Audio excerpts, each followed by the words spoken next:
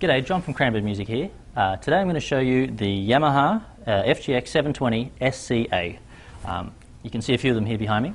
Uh, they come in three colours, uh, the brown sunburst, uh, black and the natural. Uh, today I'm going to play a bit of the sunburst one. It's pretty.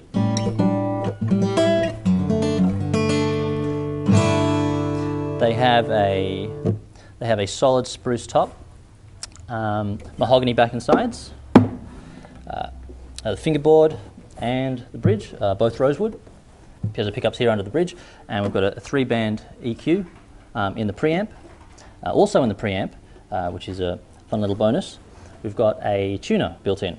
Um, uh, I have, I actually have this very same guitar, and at first I thought tuner eh, built in, that's a bit of a gimmick but it is incredibly useful, and I use it all the time. I don't use any of my other uh, standalone tuners anymore. I just use the one built into the guitar.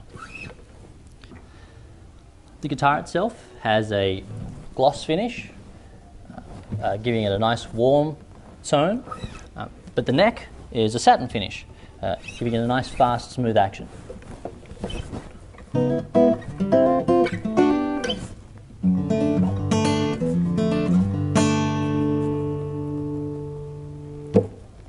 I'll play a little for you.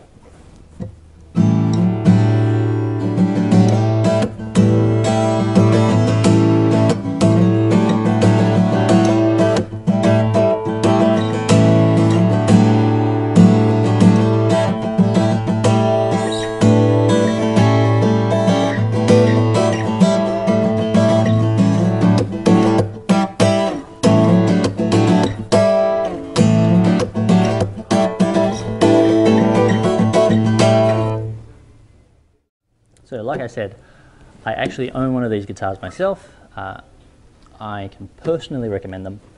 In my opinion, one of the best value guitars in their price range. So if you haven't already, press the little orange button to subscribe uh, to our YouTube channel and we'll see you around.